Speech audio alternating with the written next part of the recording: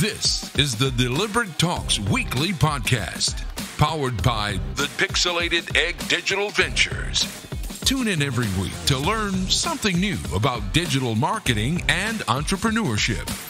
And now, over to the voice of your host, Dakshin Adyanthaya. Enjoy the show.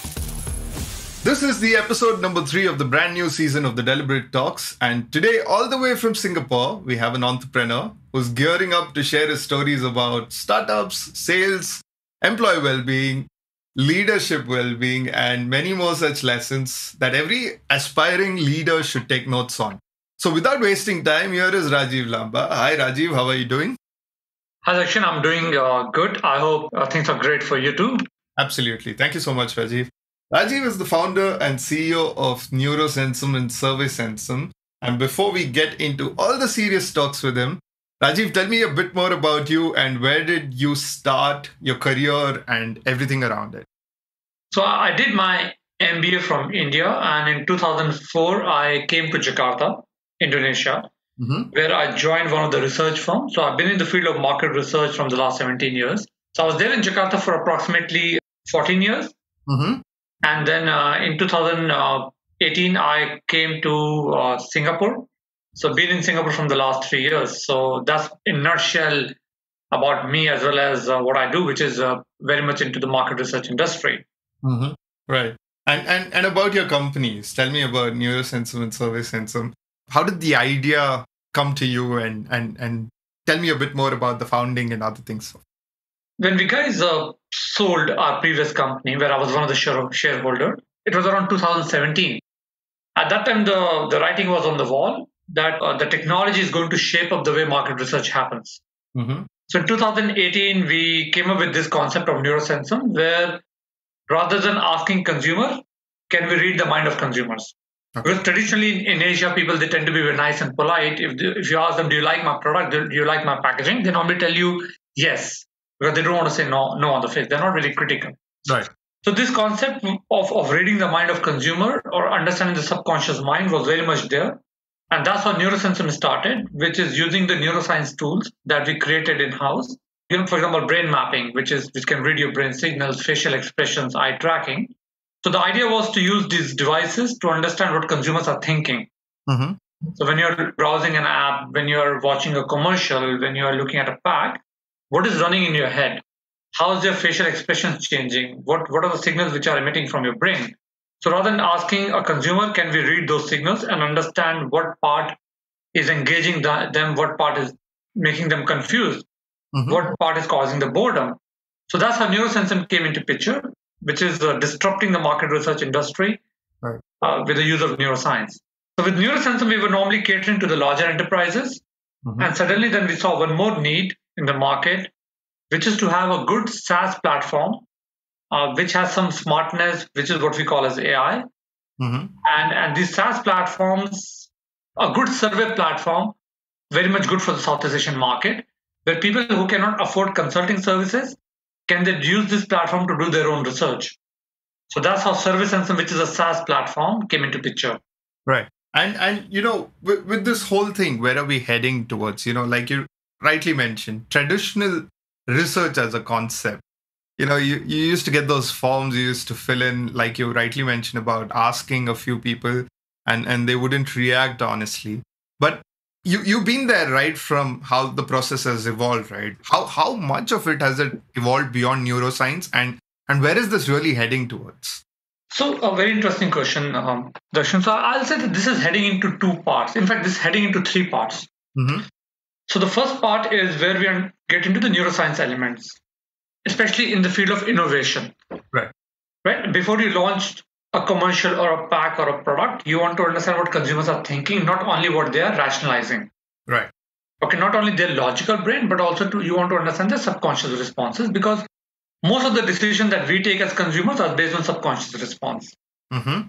So when it comes to the field of innovation, neuroscience has started playing a big role around the world. In APAC, we are still in early stages of neuroscience or neuromarketing. Right. But if you look at the developed nations like US, Europe, a lot of companies have already moved towards neuroscience approaches. Mm-hmm. So that I will say is trend number one. Okay. So this can be done offline and online. For example, you know, while sending a survey to you, if you can give me a permission of your web camera, so while you're looking at commercial online, I can read your facial expressions with eye tracking using the webcam. Right. And when it comes to offline, face to face, of course, I can put a brain mapping device on your head and read your brain signal. Mm-hmm. So this is a trend number one, which is really shaping up the world in a big way, especially in the field of innovation. Second big trend is what we call as a smart survey platforms. What is the meaning of that? Uh, you know, normally when you typically go to any consulting companies, Dakshin, people they normally come back to you with insights after one month, mm. and that's too too late for for right. for clients because in such a dynamic world, every brand wants to know real time. Right. For example, if you open a bank account, I'm sure ICICI or SBI they want to know on a real time basis what do you think about their opening process. Mm-hmm. So giving them an insight after one month is too late. Right. Because you know, by that time the customer might be disappointed, they might lose the customer, the customer might churn out to a competition. Mm-hmm. So there's a big need of a good survey platform, which is omni-channel, where companies can integrate a survey platform to their CRM system, app, website, you name it. Mm-hmm. So the moment a, a customer interacts with a brand or a service, be it offline or online, a survey goes to the customer, they fill the feedback, and the client or our companies or enterprises, they can know the feedback on a real time basis. Right. They know whether you're happy or not happy. So rather than waiting for weeks and months, everything is on the screen on a real time manner. Mm-hmm. Now, this is what we call as omni channel real time customer feedback. Right. At one tenth of a price of consulting because everything is real time. You can create service, you can integrate across channels, you can get the, the feedback real time. And what has happened also, uh, Darshan, all this textual data, whether it's a survey textual data, whether it's a it's a social media conversations, whether it's an app review, a companies can look at this information on a real-time basis in the form of summary. Mm-hmm. That's what is called as text and sentiment analysis, and that's what SurveySensum offers, oh. which I think is, is a second big trend which is shaping up the entire research industry. Super. Where I want to understand my customer feedback so that I can act on that customer feedback on a real-time manner and I can improve my customer experience. Right. And that's why people they call customer experience as a new differentiator. You know, all this while companies have differentiated on price, promotion, packaging, place. Mm-hmm. But now people, everybody says CX is a new differentiator because how low can you go on a price? Right, right.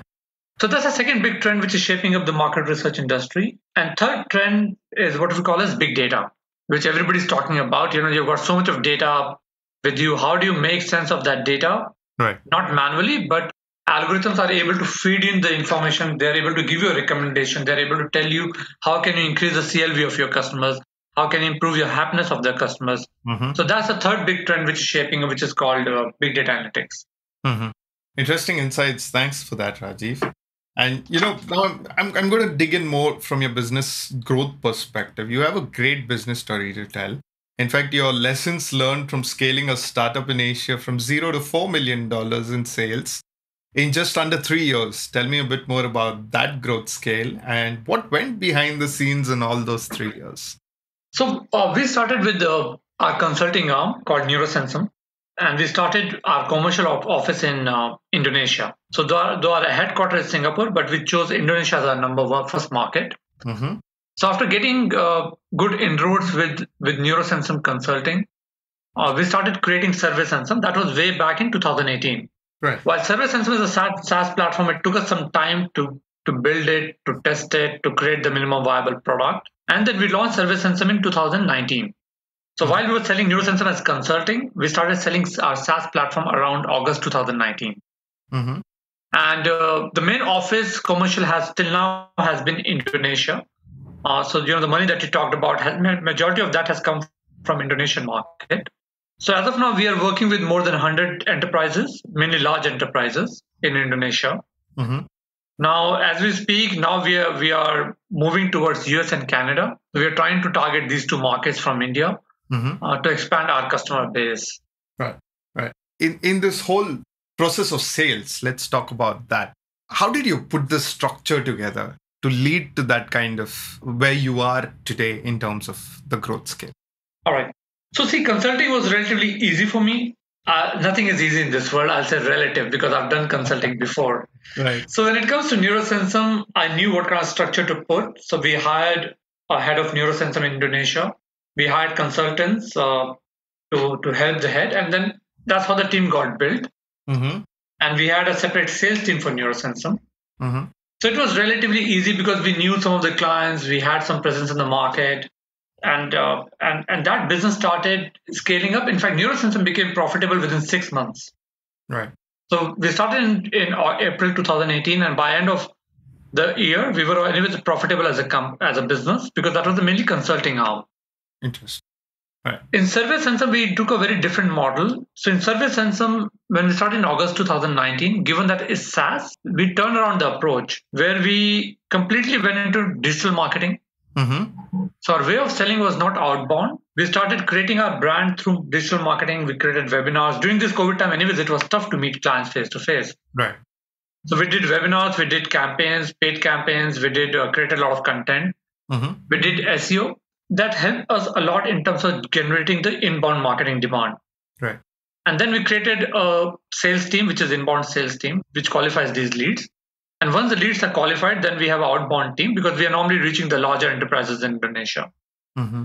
And that's how this entire marketing and sales funnel got created for SurveySensum. Right. Wow. So, so slightly different approach because these two are different teams. Mhm. Uh, they work in a slightly different manner because one is consulting, second is SaaS, and their their way of marketing, their way of selling, their way of monitoring is also very very different. Right, right. Makes sense. Absolutely. Great, great. And and you know, I'm also going to get into another part of the mistakes and challenges in this journey. I'm sure there might be a lot of you know learnings which which weren't planned for. Obviously, there there are a lot of things that come in your way which you haven't planned for. Some interesting parts of it during the business journey. Did you face any obstacles or challenges that came your way? We did. I think especially for SurveySensum, we did face a lot of obstacles. I think because you know uh, I have never done SaaS before, so that was my first time trying my hands on a SaaS business. Oh, okay. I think getting the right team took time Mhm. because I, I, I was not very much aware of uh, the role of a CTO or, or data science role Mm-hmm. or, or digital marketing role. So that is something I had to learn a lot uh, in 2018 while I was building that team. Mm-hmm. The big challenge was getting the right people, ensuring that I'm learning things that I've not learned in my life. Right. I was very much an outbound salesperson, and you know, uh, when you build a SaaS, it's a completely different ball game. Right. So that took took a bit of time. Uh, other mistake that I think we did in 2018 when we created SurveySensum first platform, we went beyond minimum viable product. We created a product which was slightly more than minimum viable. Right. And when we took it to the clients, uh, we understood that they had a slightly different requirements in Indonesia Mm-hmm. Because we're just kind of looking at the competition and we're just trying to getting getting inspired from competition to create a product. Mm-hmm. And that was the biggest lesson which that we learned when we took the product to the market. It was not that well accepted. We had to completely revamp it with a very very new look, Mm-hmm. very different features. So looking at competition sometimes is, is useful. Getting inspired from them is useful, but uh, you know looking at too much into detail of what competition is, is doing sometimes can backfire. Right. Yeah, because the companies which are targeting uh, mainly the base from US or Europe, Mhm. that doesn't mean that they can be successful in, in Asia. Right. So I wasted seven to eight months uh, in 2018, uh, mid 2018 till early 2019, Mm-hmm. where I had to kind of revamp the entire product. And then I think that's where we learned the art of developing a product. That how do you create a minimum viable product and then get customer feedback. Right. So ultimately, you don't you can start the product on a hunch, but it, ultimately it's the customers which help you to shape the product better. Right.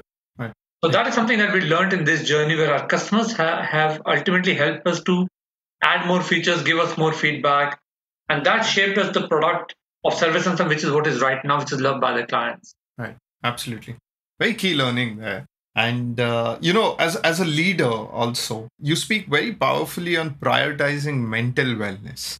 now a major point of conversation in startups today is talking about giving importance to mental wellness, but you know, most of the working culture doesn't lead to really an employee wellness or even a leader mental wellness aspect of it, right? So, what's the motive behind this? Is it based on any personal or professional experience of yours? I think it is. Uh, till three years back, uh, I used to think uh, working 17 hours a day, 16 hours a day is something which can really give you enormous results. Mm-hmm. But over time, I felt that I also changed as a leader. I think uh, rather than you controlling everything, can you trust people more and start delegating more? Mm-hmm. That is something which really helped us to to come to a very very good place where we are right now as an organization. I think apart from that, uh, you know, during these COVID times when we all of us were working remotely, I think everybody kind of went through a phase where there's a bit of self isolation people they faced, including my own team members. I think Mm. the entire world faced a similar issue. Uh, so, how do you encourage people when you're not able to meet them? When they are just sitting at home, they're not able to meet their team members, they're not able to get to the level of productivity that they want to get. Sometimes sitting across a face is very easy to communicate. Doing it over a Zoom is not that easy, especially when they're, they're communicating with the juniors. Mm-hmm. So I think that's where I think this the entire mental well-being uh, for yourself as well as for your employees becomes very very important. And I think that possibly I believe started with me two years back when COVID hit, when we were not able to travel, and I think uh, of course you're trying to deliver on the target, suddenly the, the business gets im- impacted, and you're trying to fundraise at- raise at the same time. Mm-hmm. So multiple elements were happening at that time. And I think, of course, I also saw uh, some of the team members were getting stressed. Uh, they were not able to sell as much as they wanted to sell Mm-hmm. because of the, the current uh, situation that we are in. So I think uh, that's where I believe uh, the entire journey of, of transformation started, where I had to take up this uh, a step for above in my life. You can only change the world when you change yourself Right. right? So being uh, very aggressive to showing more compassion is very, very important, Mm-hmm. especially in the times which are very, very tough right now. Mm-hmm. So I think uh, where everybody is trying to deliver their best, but they're not possibly at times able to deliver the output that they want to deliver. Mm-hmm. So how do you balance that compassion when you're not able to meet them face to face? We are not able to have a drink or have a chit chat at times. So how you do it over over the Zoom became very challenging in the initial time. But I think that's where I think I realized uh, developing a self compassion as well as compassion for others becomes very very important. Right. And to to me, I think uh, the more compassionate that we become to ourselves as well as our employees, the more credibility, the more loyalty, the more trust that you can gain. Mm-hmm. Absolutely. Right. And uh, this is what, what I felt uh, was a big change in me in the last couple of years. Right. Very interesting. And again, as an entrepreneur, if I ask you from where you started to where you are today, of course, this conversation is very relevant, what you're saying. But how have you shaped yourself better and how are you planning to prepare yourself for tomorrow? Because a situation like how you mentioned in COVID, you had to evolve to become a better leader as well and understand your employees because you're not meeting them face to face all these challenges will keep coming uh, and as you grow bigger you know there will be more challenges that will come into the picture. So how are you gearing up yourself as a leader or an entrepreneur to to constantly evolve with time? So I will say, I think uh, what I realize, uh, Darshan, that you know, if you want to become a great leader as well as a great human, both ways, there are three fundamental pillars which are very, very important. mm-hmm. The first pillar is a physical pillar, which is you have to be physically active. right Because, of course, you know, uh, you can only put in effort when you're physically well and you're physically healthy. mm-hmm. which I think I was always uh, very much into sports. Uh, I used to kind of play tennis, which I still play. So physically, I was always uh, healthy as an individual. And I think in the last two years, apart from doing what I used to always do, like tennis, squash, I started adding yoga into my uh, physical regime. Because I think, you know, when you've been sitting on chairs for so long and your back gets stiff, hard sports doesn't help. What I realized that yoga is very, very powerful as a tool, as an exercise, which can really help you to balance your mind, body, and soul. Right. So that's one element which I felt that I added some more elements of physical well and also encourage at the same time my team members to walk, exercise, not to be just sitting behind the computer 12 hours a day. Mm-hmm. Because you know, overall, what has happened, the productivity has gone up, but number of meetings have also gone up, and burnout has gone up. right right So taking those breaks where you're away from phone, away from laptop, and defining a good schedule for yourself when I will exercise, when I will work becomes very, very important. mm-hmm. So that is something I did. Second is what I call as the intellectual pillar, Mm-hmm. where you learn a lot by learning from others as well as you learn from yourself. Mm-hmm. So I think attending a lot of web webinars, attending virtual sessions, training sessions, listen, listen to podcasts, reading books, both soft skills as well as hard skills. That is something I did a lot in the last few years. Mm-hmm. And of course, networking, physical networking ha- has gone down, but virtually, I think, thankfully to the thanks to the technology, I could able to network with many many pe- people across countries, Mm-hmm. especially entrepreneurs, and learn from them. Right. So, which I think is, is what I did a lot uh, in the last two three years. Uh, I create, did webinars. I attended webinars. I attended a lot of uh, virtual training programs that helped me to understand where the where the w- word is moving towards in my industry, Mhm. and especially where the leadership is moving towards. But third big element I'll say, which I added recently in the last two three years, is what I call as a spirituality pillar. Okay. Now you might be great physically as well as intellectually, but if you if you don't have a good mindfulness around what you do, then everything goes for a toss. Mm-hmm.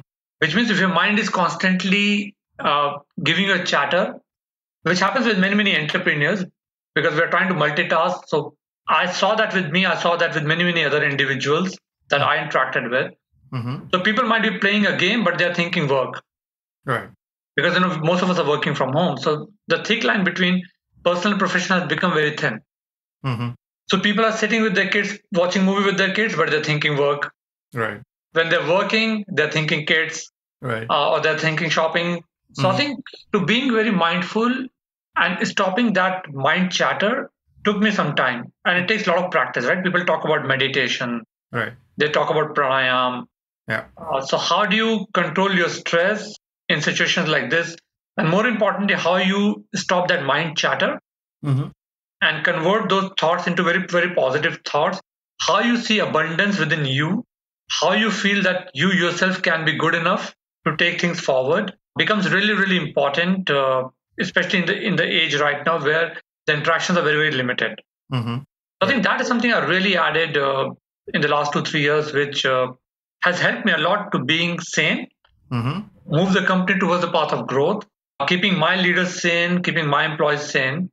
And I'm very thankful to what things that I learned that I could, I could pass to my team members and the surroundings. Mm-hmm. Very interesting. Okay, then Rajiv, I'm now going to change gears and uh, ask you some more quick questions. The rapid fire round starts in three seconds. So, are you ready for this? Sure. Cool. Your favorite motto or quote in life would be? Even impossible says I'm possible. Mm-hmm. Okay. Self growth, mindful growth, or monetary growth? Prioritize. I'll say mindful growth, Mm-hmm. uh, self growth. Uh, third will anyways happen, right? If you're mindful of your growth and you're able to add things in your life, then monetary growth is a is a resultant. Right. Okay. One interesting story or thing someone said to you when you were going to start your company. When I started my company, I think I'll, I'll say that when I when I went to my previous startup, that was something interesting. A lot of time, you know, sometimes you don't want feedback from people, but they still give you feedback. Uh, it's a very human nature. Right. So I remember 90% of the people they said, because I was working in a big organization called Nielsen. Mm-hmm. So I went from Nielsen to my previous startup. 90% of the people they said, uh, you're making a big, big mistake. At that time, it was not a startup, right? People used to call it a business in Right. 2011. Right. So 90% people said, you're making a big mistake of joining from a big to a small company. In a matter of six months, it will close down. Mhm. I'm sure that you will come back to Nielsen again. But only two people told me, believe in yourself Uh-huh. and uh, keep putting in effort. Just believe in the karma. Results will be taken care of. One of that was my my ex boss, and second, of course, is my wife. Wow. Very interesting. And are those 90% people still your friends today? But they are still friends. Uh, I don't know how deep friends they are. Uh, so with some of them, I've not interacted, but of course, Right. they would have seen my journey. So I don't know how how they feel about that journey. Right. Okay. Three individuals or business leaders you look up. See, I, I- I don't really look up to a lot of business leaders. Of course, you know, I like uh, the guts of Elon Musk. That when I read about about him, I like what Steve Jobs did. But to me, uh, my inspiration normally comes from the sports personalities, Mm-hmm. So I normally look up to the sports sports personalities. For example, I have always looked up to Federer, Mm-hmm. uh, how he changed from a very aggressive man to a calm and composed individual. Right. I look up to Sachin, all the glory that he got, how he was always humble with that glory. Right. I have looked up to Dhoni. Mm-hmm. Uh, at such an age, he became a captain and be so calm, composed in different situations. Ability to walk away from from things that he felt that he could not lo- no longer contribute. Mm-hmm. are the three personalities that I have looked up to. Very interesting. Okay. It's wiser to find out than suppose is a famous quote. Do you deem this apt for research and entrepreneurship? If yes, why? If no, why? I, I completely believe in it, you know. I think as an entrepreneur, sometimes you will only discover when you get your hands dirty. Mm-hmm. And you can only get your hands dirty when you find out by yourself. Right.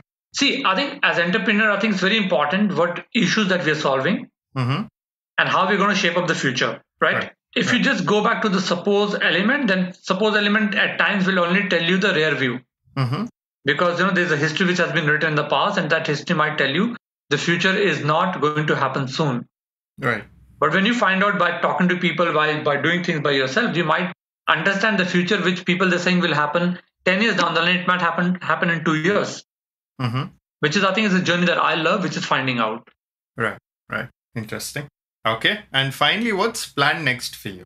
I think what's planned next for me, I'll say as a company, I think uh, one is to expand further in Southeast Asia, but I think for us the biggest challenge will be to expand into developed markets, Okay. especially for SurveySensum platform where SaaS is valued more and the market of the SaaS is far bigger. So I think for us to crack US, Canada, Europe is going to be a big challenge Mm-hmm. for me as well as my team teammates. So I think that is a challenge that we are looking up to. Okay. Great. And before we sum up our conversation, Rajiv, your three to five quick tips on a conversation that you often mention, very valuable, which is how to become a quality leader of tomorrow. In quick three to five points, what would you tell the aspiring leaders? I'll say the first thing is believe in yourself. At times, people might tell you that you're doing the wrong thing, but believe in the intuition that you have. Mm-hmm. Second, show a lot more compassion towards your employees. Mm-hmm. I think the more compassionate they are, I think in a world where loyalty is going down, showing more compassion, knowing them more, help every all of us a lot more. Right. Third, I will say is being being mindful Mm-hmm. of everything that we're doing and having a good balance around the work, professional, personal life. Mm-hmm. And that can only happen when we are mindful and have a great self awareness. Right. Great. And uh, with that, Rajiv, we have come to the end of today's episode. Thank you for making time for this productive conversation. I had a great time hosting you. I hope you enjoyed your time on the show as well. Same here, uh, Darshan. I, I loved this uh, podcast. And what I loved about it is it's not long, it's very short and sweet. Thanks for keeping it short and sweet. Right. Great, great. I wish you all the very best. And uh, yeah, best wishes always. Cheers. Yeah, thank you. Bye. Take care. And so that brings us to the end of today's conversation. And before we wrap up today, here's the interesting fact for the day. According to a statistic, 69% of millennials believe that there is a lack of leadership development in their workplace. Now then, that's something to ponder about. And so, that's it for today. This is Dakshana Adyanthaya signing off. Don't forget to hit the follow button on your favorite audio platforms and get in touch with me on the deliberate talks at gmail.com. Join in next Monday for a new episode. Until then, inspire and be inspired.